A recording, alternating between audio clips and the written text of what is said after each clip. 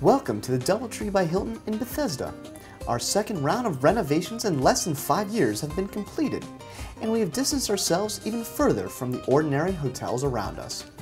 We hosted many travelers and local meeting planners to gather their insight on designs and suggestions. From these comments, we created The Great Room, a social gathering place conveniently located on one floor with a variety of popular dining and entertainment options. Our newly remodeled lobby offers a spacious, comfortable seating area where you can meet your friends, read the newspaper, or catch the day's news on our 50-inch television.